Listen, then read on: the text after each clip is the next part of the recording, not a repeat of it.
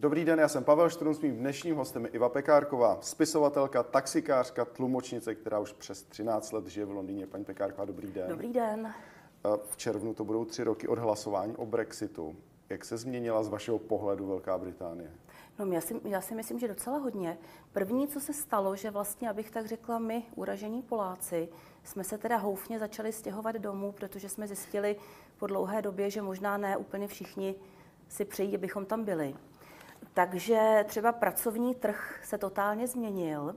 Vím, že kamarádka, která pracovala v takovém tom velmi, velmi potřebném a velmi nepopulárním oboru, to je starala se o staré lidi, mm-hmm. tak ta, ta za takový celý pracovní týden, to bylo od nevidím do nevidím, 24 hodin denně v podstatě, s trochou spánku, tak ta za to dostávala kdysi 600 zhruba za týden. Teďka už jí 600 liber za týden, ale to, to bylo 24 hodin denně, že? takže no to, to je jako nebylo. Málo. No to nebylo tak málo. No, no prostě bylo to tak, no. jak to bylo. Ale teďka už jí za, za to též nabízejí 920, 950. Takže, Takže vlastně najednou, najednou vlastně ta Británie zjišťuje, ještě teda vlastně před tím vlastním Brexitem, ano. jak to taky může vypadat, pokud, pokud vlastně přijde o, o nás Poláky, bych tak řekla. Tak k tomu o nás, my Poláci, k tomu se dostaneme. Jenom eh, pro mě, ještě mi prosím odpověste, eh, díky tomu Brexitu se začali Britové víc považovat Eh, východoevropany, středoevropany, kteří právě pracovali v pečovatelských domech nebo právě pod tím systémem NHS ve zdravotnictví? Mám pocit, mám pocit, nevím zrovna úplně v tom zdravotnictví, protože tam, tam je spousta lidí, která, která to může dělat třeba z Filipín nebo hodně mm-hmm. z Pakistánu a tak dále. Oni jsou zvyklejší třeba na doktory z Pakistánu, kteří tam vlastně už pracují léta, ano. než třeba na nás teda východo, nebo ta, či východoevropany. Ale právě teda třeba v péči nebo, nebo v takových některých službách, tak tam se skutečně začal projevovat nedostatek vlastně pracovních sil lidí s pracovním povolením, ochotných teda pracovat za relativně nízké mzdy, za relativně neúplně dobrých podmínek. Takže vlastně Brexit pro Čechy, Slováky, Poláky že oni na něm vlastně můžou vydělat. Svým způsobem ti, co teda vydrželi, tak pokud jako tam budou smět být dál, a to hmm. se zdá, že jako většina z nás smět bude, zprvu to vypadalo, jako že možná nás všechny vyhodí, ale to se nestane, tak eh, svým způsobem to pomůže. Ale v čem si myslím, že to teda ještě daleko víc pomůže, je to takové až jako, až jako trapné, pravděpodobně to pomůže teda ilegálním imigrantům kteří třeba to pracovní povolení nemají, ale najednou vlastně mnozí zaměstnavatele, mm. ne třeba takový ti úplně oficiální, jako třeba státní zdravotní služba a tak dále, Aha. ale prostě takový ti jako polooficiální, najednou budou muset vymýšlet způsoby, jak teda zaměstnávat lidi, kteří třeba to pracovní povolení nemají a nejsou vlastně v té zemi tak zcela legálně, protože prostě nebudou mít dostatek pracovníků. Takže je to takové trošku absurdní, protože spousta lidí... Zajímavé. Jako, já jsem se třeba setkala tak jako lidi, někteří nejsou úplně možná jako chytří nebo předvídaví, ale, ale prostě setkala jsem se se spoustou jakoby strašný takový, takového smutku a bezmoci ze strany některých teda právě třeba lidí z Česka, ze Slovenska, kteří říkali, to mě tak strašně mrzí, že nemůžu v tom Brexitu volit. Já byl jako v, tý, v tom referendu volit, já bych volil odchod, protože se zbavíme těch, těch migrantů. Uh, počkejte, kdo to říkal? No Češi a Slováci. Češi a Slováci, kteří žijí v Británii nebo v Londýně, kteří říkali, žijí v kdyby, ta, kdybych říkali, mohl volit Brexitu. Ne všichni, nedej bože, ne všichni, ne, ale slyšela jsem to jako od mnoha a do mnoha teda lidí. Ježíš, to je strašný, já bych okamžitě volil odchod, aby jsme se zbavili těch migrantů. A tohle teda říkali zapomínajíce, že ti jediní migranti, který teda, kterých se ta Británie může zbavit eh, Brexitem, jsou oni sami. Že jo? Um, Spousta témat. Eh, vezmu to postupně. Eh, to, co jste použil v úvodu, my Poláci, eh, to znamená, že já samozřejmě nějaký čas jsem žil ve Velké Británii, ve Francii a chápu, že ten, byť ta geografická blízkost ne vždy, řekněme, těm lidem dodá nějaké znalosti o té které východní zemi. My Poláci je nějaký termín pro obyvatele Londýna, když si objednává nějakou, řekněme, službu nějakého řemeslníka, zavoláme Poláka a on přijede prostě Čech, Slovák, Polák, Maďar. Nebo jak to Myslím, mám chápat? že to je tak jako, no, no tak skoro, ale v podstatě je to, je to takhle, není, nejsem si úplně jistá, jestli jsem jako tento termín náhodou jako neprosadila já, protože já si z toho no, dělám už jako ten pocit vlastně, 10, 10 až 12 let si z toho dělám vlastně srandu. Protože mě překvapilo, že vlastně v Británii v Británii, která, kterou jsem vždycky považovala jakoby za velmi jak se cestovalou tak nějak jako zemi, takovou jako velmi, s velmi dobrým povědomím teda o ostatních zemích. Ano, to měli ten tak najednou vlastně, vlastně tak... když jsem tam třeba řídila, oni měli, že oni vlastně to impérium, takže vlastně oni Přesně. spoustu toho znali. No ale my jsme teda nebyli jaksi v impériu, takže nás neznají. A ještě když jsem řídila taxíka, tak jsem vlastně měla kolikrát problémy vysvětlit některým svým zákazníkům, a to jako po několikáté, že a proč vlastně teda nejsem Polka. Hmm. A oni třeba ještě po několikátém objasnění to vlastně nechápali. Protože jako na, na východ od Německa je to to Polsko asi a potom je tam asi teda Rusko. Hmm. Řekněte mi, uh, a ty příčiny, um, protože neustále slyšíme zprávy o tom, jak se hlasuje uh, ve sněmovně o, tom, o těch smlouvách, člověka už jde trochu hlava kolem z toho. Ano. Um, když se bavíte se svými přáteli, Brity, kteří aktivně hlasovali, ať už pro nebo proti. Eh, co byl ten důvod? Co je podle vás ten důvod, eh, že zvítězilo to odejít z Evropské unie? To samozřejmě nemůžu vědět, ale moje teda jaksi prohlubující se představa, hmm. že, to, že, že to v podstatě z velké části udělal pan Murdoch z Austrálie, že je velký teda tiskový ano, mediální. magnát, eh, mediální magnát, hmm. který opravdu třeba na na první stránce The Sun, což je teda právě ten jeho takový, řekněme, takový český blesk trošku by to byl, tak on prostě asi čtyři týdny před, mm. před tím referendem vždycky byla na první stránce třeba deset důvodů, proč odejít z Unie. Ani jeden jediný, proč tam zůstat. Mm.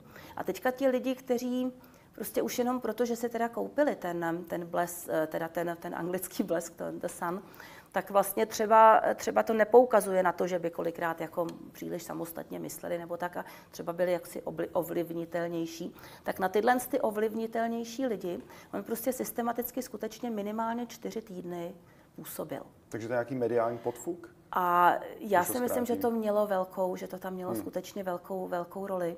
A ono vlastně nešlo o mnoho, ono šlo vlastně o pár procent těch lidí, kteří se třeba rozhodli, že teda vlastně to je možná jinak. A došlo teda v podstatě k takové lehké demonizaci teda právě nás Poláků podivnými způsoby.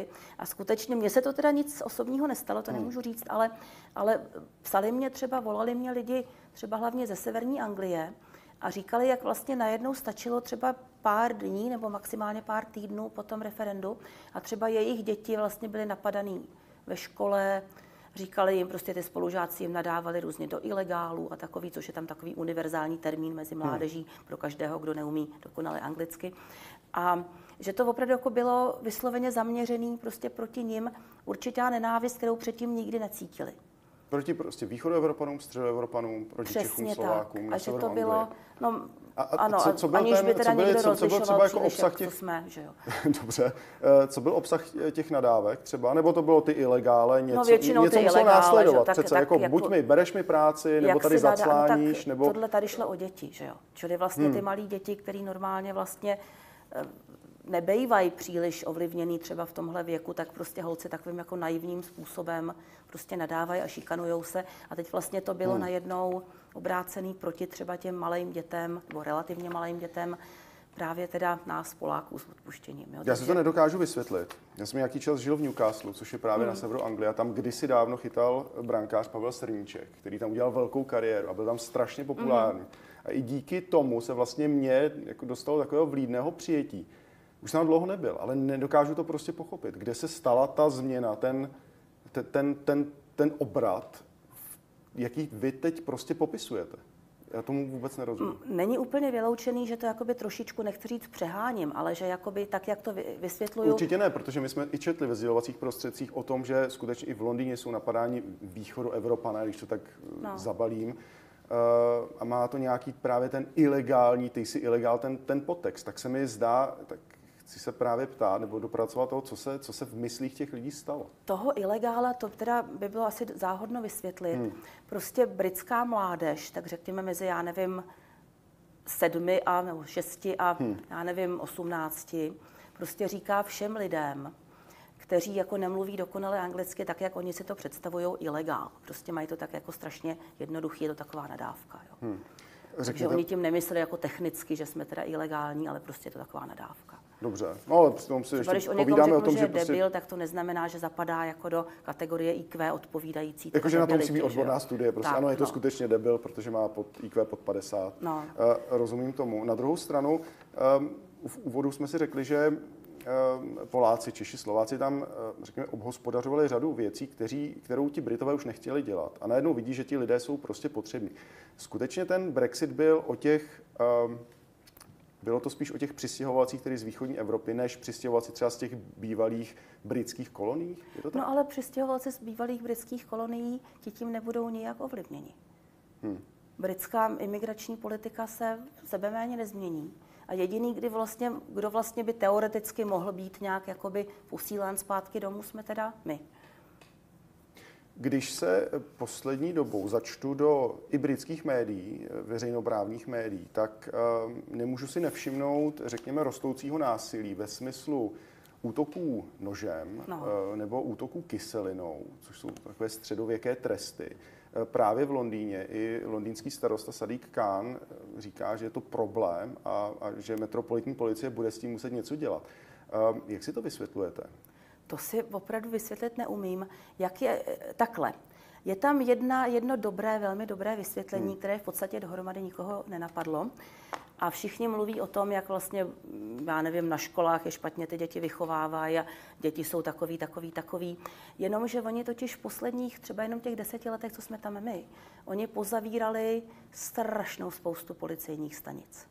Takže vlastně třeba v několika čtvrtích, jako jenom, jenom za mého pobytu, byla policejní stanice a ta byla zavřená. Takže oni prostě v podstatě snižují přítomnost policie v těch ulicích, přítomnost policie poblíž. Takže vlastně dneska, když jako voláte policii třeba k násilnému trestnému činu, tak můžete mít štěstí, že zrovna jsou za rohem, ale spíš to prostě potrvá třeba půl hodiny, tři čtvrtě hodiny, než oni tam od někud z nějaké prostě zatím nezavřené policejní stanice dojedou. Je to tedy jenom tím nedostatkem policistů? Takže já si myslím, že to se bude- i sociálně Británie mění i s příchodem, řekněme, migrace z těch jejich bývalých eh, kolonií? Eh, Protože když se podívám, třeba BBC píše o praktikování ženské obřízky v Londýně. Ano, to tisíce se určitě- případů. To No, přece no, eh, nejenom, asi ale- není úplně jako zážitost středoevropanů nebo Tohle východoevropanů. je věc na strašně dlouhý povídání, zejména teda, jak se tomu říká, ta, ta ženská genitální mutilace, že? Ano. jako ničení, teda obřízka. Ale úplně znetvoření Tak vlastně ano. znetvoření vlastně genitálií u žen, tak eh, to se v Africe děje, ale neskonale, neskonale méně, než třeba mezi, mezi přistěhovalci z těchto zemí. Prostě toho je, toho je daleko víc v těch zemích, kde vlastně ty, ty přistěhovalci nebo třeba už několikáté generace bydlí prostě v, jakoby v cizí zemi, nebo teda v zemi, která už jakoby je jejich, ale není to ta původní vlast, než třeba v Africe. Jak je to možné? Je to hrozný. A já, já tomu nerozumím teda, ale trošičku jakousi indikaci bych měla v tom, co jsem třeba zažila já z Čechy a Slováky, třeba v Americe. To jsou, zase ne všichni, zase nechci, nechci zobecňovat, ale prostě je tam strašlivá, neuvěřitelná spousta totálních prostě bigotů. Jaký byste prostě v Česku nebo, nebo na Slovensku prostě nenašli. Nebo teda opravdu jako ve dne s Lucernou. A tam je to prostě skutečně na každém rohu. A to se nějak prostě Takže ti lidé stane. se vlastně opustili nějakou tu svoji zemi, třeba z Afriky, přišli do Velké Británie a tam No. se jakoby utvrdili v tom, eh, budu tím ten skutečný Afričan dělá přece toto, Tak. něco, co by ve své zemi vlastně vůbec jako neudělal, protože nemá Tak. tu, nemá tu potřebu se No. identifikovat s tou zemí. Ale přijdu do jiné cizí země a tady to začnu, já tomu, Je to hrozný, ale nerozumím. je to naprosto jako všeobecný. Jo? Je to prostě, nedělají to Afričani, nedělají to Aziati, neděláme to jenom my. Prostě to je skutečně naprosto všeobecný, že vlastně taková nějaká jakoby třeba ty podivné aspekty vlastně té kultury toho národa nebo kmene vlastně najednou se jakoby strašně zesílí. A teďka, že jo, třeba ve většině afrických zemí je teda jako ženská obřízka zakázaná pod docela vysokými tresty a tam se s člověkem nemazlej. Když ho prostě chytnou, tak ho prostě na 10-15 let do lochu nebo něco takového, že jo, nebo třeba i zabít. No když to prostě tady, oni všichni vědí, jak se prostě teda ta vlastně vlastně velmi, velmi tedy jakoby humanitární země, jak se mazlí s těma, s těma zločincema, že jo. Takže oni se toho v podstatě nebojejí. Plus teda je to strašně, je to strašně divný a určitě to, to jako není... se eh, poslouchá. No, mně se to špatně říká, ale prostě opravdu jako všechny moje observace k tomu směřujou, jo. Takže tam vlastně nejsou ty struktury, které by tomu zabránili. A teďka, že tam jsou třeba nějaké rodiny, jako kdo z té rodiny půjde a řekne jako, já nevím, oni chtějí obřezat ségru. To by přišel o tu celou rodinu.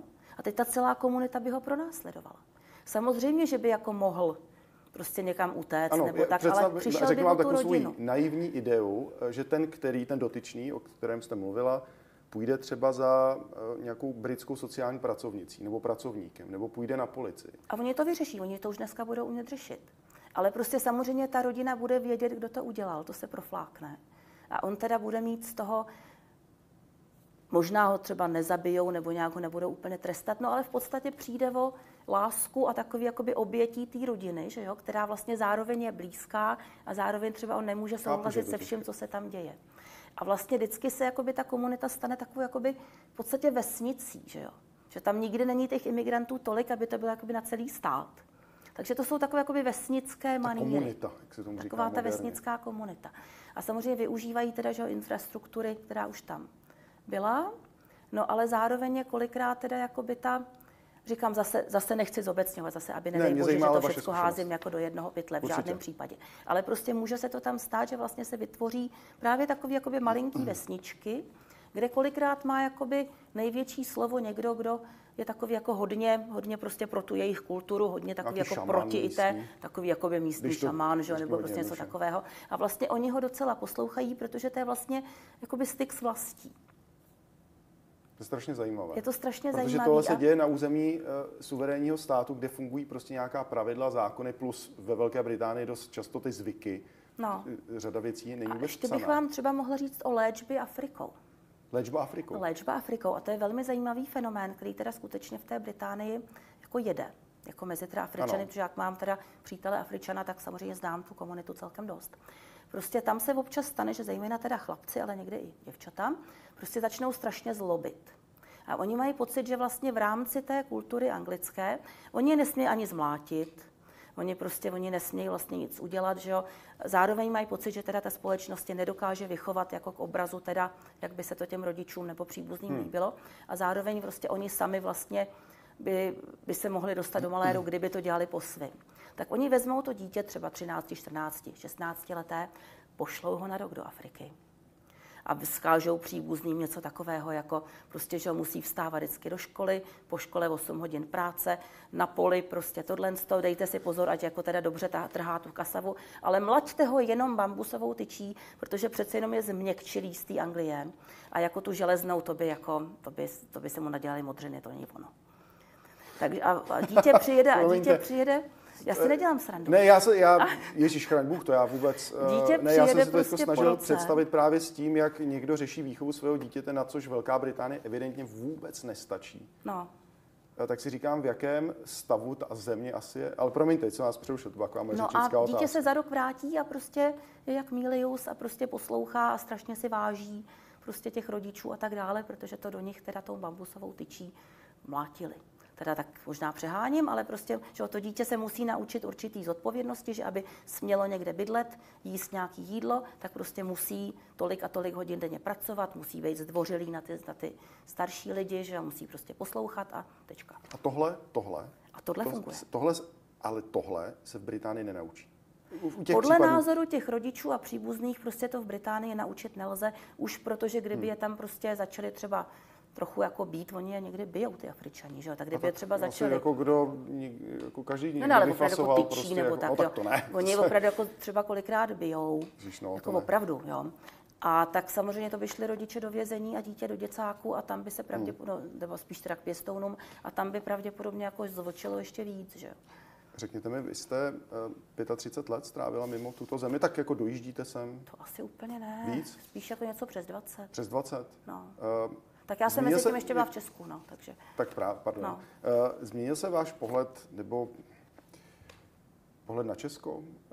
Eh, I v souvislosti s tím, o čem jsme se teď bavili. Protože někdo říká, a Česko je taková zpátečnická země, ale teď, když vás poslouchám, tak si myslím, že jsme poměrně i docela na výši, tak eh, někdo, kdo měl šanci pozorovat to Česko zvenku.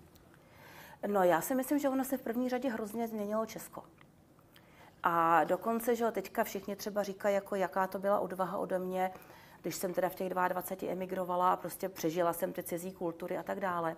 Ale když si to prostě vezmete, když se na to jako skutečně podíváte, tak vy jste mladý, takže vy to ještě nemůžete vědět, ale prostě když byste si to vzali jako teda přes ty lidi, kteří se tady narodili poměrně dlouho tady žili, potom hmm. najednou přišla revoluce a teď najednou to bylo horší, než se přestěhovat do cizí země.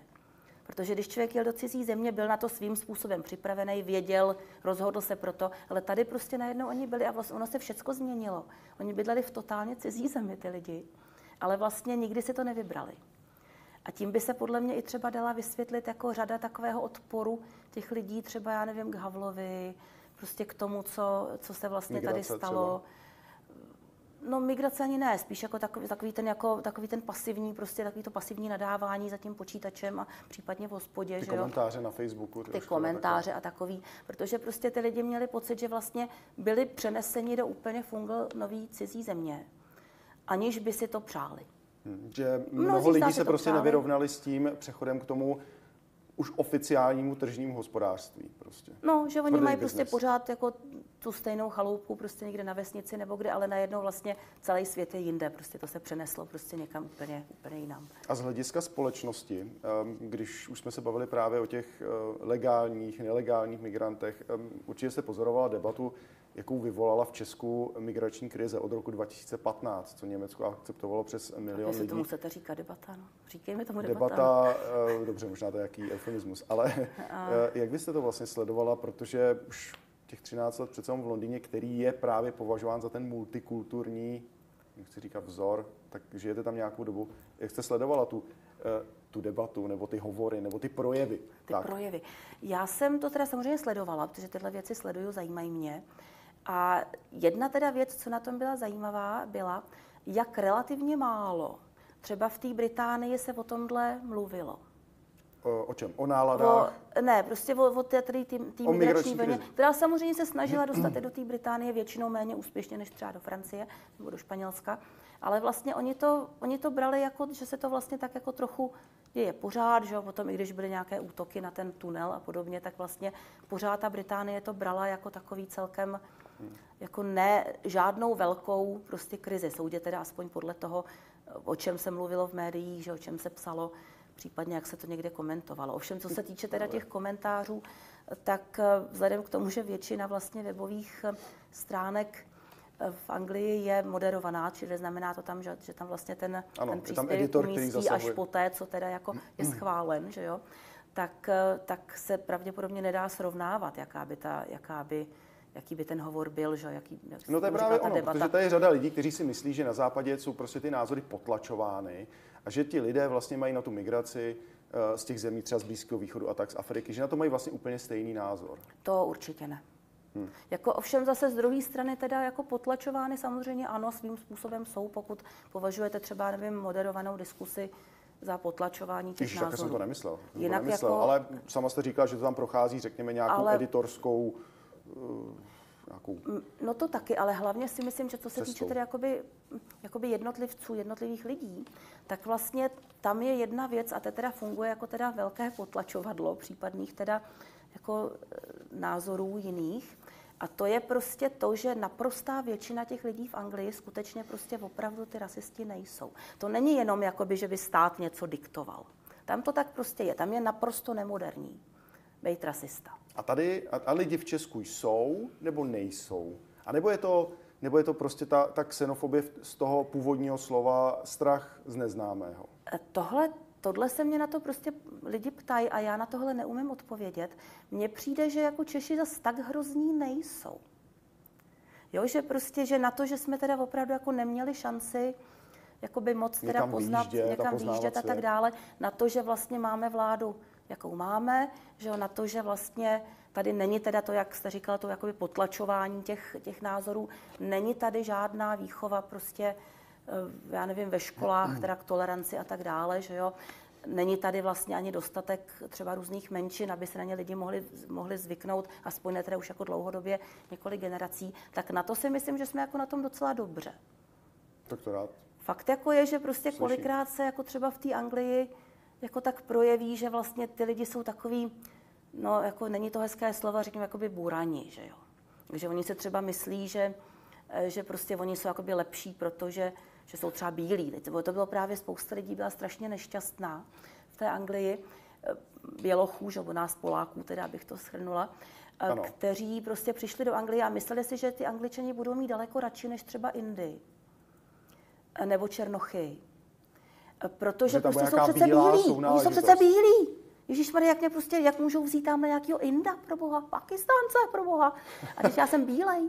A vlastně bylo to jakoby strašný šok že ty angličani jsou už pravděpodobně i teda z toho impéria a teda druhé fáze teda že dojezdu toho impéria jsou vlastně eh, jsou vlastně zvyklí na to, že jsou kolem Indové, vědí, že Indové můžou být dobří doktoři, jo, mají rádi třeba kolikrát Afričany. Bylo to všechno Takže někteří tam prostě Češi nebo Slováci, kteří tam přišli, dostali vlastně nějakou facku, protože... Totální facku byli taky jako zneuznalý tím, že podívej se, Máňo, tady jako i pakistánský doktor, jako s ním se tak. baví víc než se mnou. No. Když to řeknu teda hodně. Jako a zase prostě, zase teda musím znova zdůraznit, že jo, prostě nedej bože ne všichni, že jo.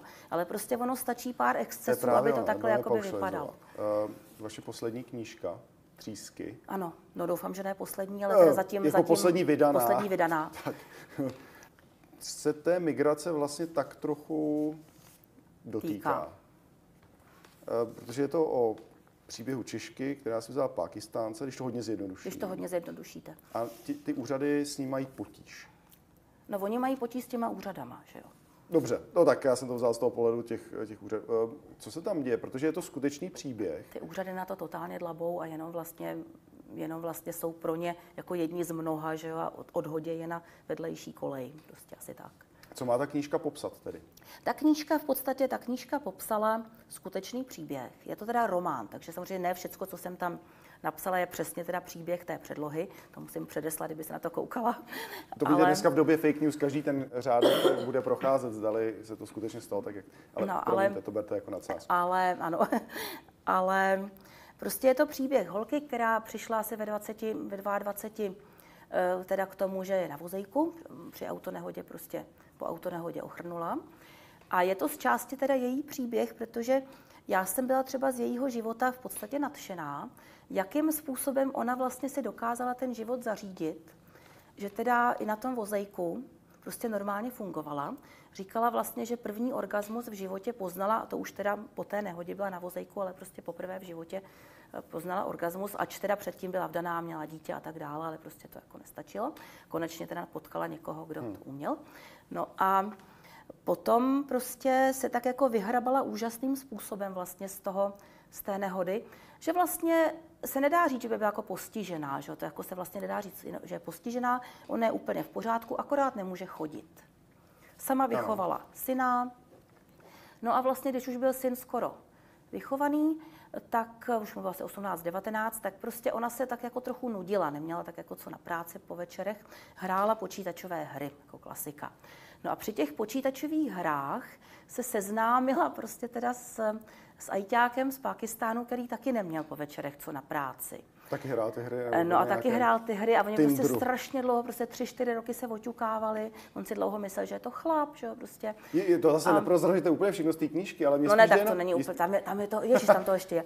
Ale ne, mě spíš no jde a... o to, že ty české úřady prostě jako asi téhle verzi úplně neuvěřili. Úplně, a z toho no, se... no, no, zjevně ne, no, jako to není verze, to takhle jako bylo, že? To, tak, ale, v tom příběhu. Ale jako je to smutný strašně, protože tam je, jako tam je prostě jedna, oni prostě už, že, oni se znají ty dva skoro deset let, přes pět let, nebo teď už vlastně šest let to bude, už jsou teda svoji, brali se na Šrí Lance, přestože ona vlastně jako vozíčkářka, jako není pro ní bezpečný cestovat letadlem, je to jako no. velmi špatný pro její zdraví a tak dále.